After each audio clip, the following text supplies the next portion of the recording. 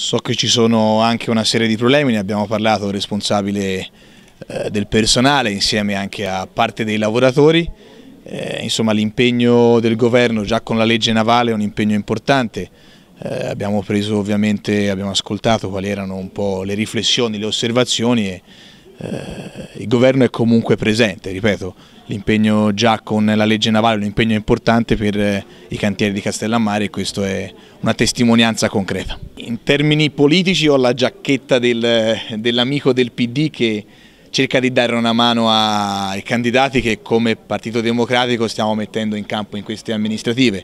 Tonio uno di questo, vengo da un incontro a Benevento, insomma Partito Democratico c'è, sta mettendo in campo persone di valore, programmi e progetti ancora più importanti e poi insomma eh, alle amministrazioni del territorio in generale il governo è sempre vicino e eh, venire in queste occasioni è importante sia per campagna elettorale, per fare campagna elettorale eh, come membro di partito ma anche per ascoltare le esigenze che il territorio ci pone negli incontri come questi. La presenza oggi di Luca Lotti, il presidente De Luca, era quello, la testimonianza di quello che abbiamo detto nei primi dieci giorni di campagna elettorali.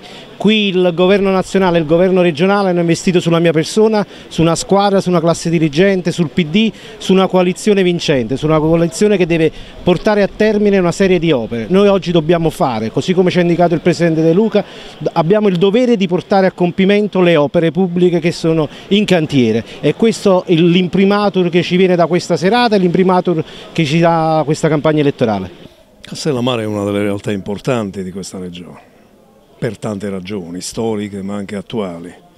Siamo qui per confermare un impegno straordinario del governo e della regione, in primo luogo sulla cantieristica. Veniamo da mesi di discussione per portare a Castellammare il più grande investimento navale che farà la Marina Militare Italiana, una nave duale che parte la prossima primavera. Devo dire sinceramente che Fincantieri non ha mantenuto tutti gli impegni perché gli impegni erano quelli di fare piccole lavorazioni da qui a primavera prossima.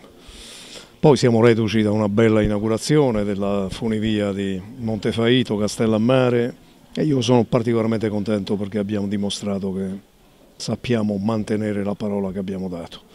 Ho annunciato che ci sarà un investimento importante, credo una ventina di milioni di euro sulla stazione della circunvesuviana e quindi veramente a Castellammare destiniamo risorse significative. Poi dobbiamo completare il programma di opere pubbliche e qui diciamo la verità, abbiamo un po' dormito in piedi.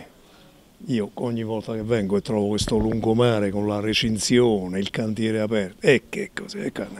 Vorremmo completare il lavoro prima del 3000.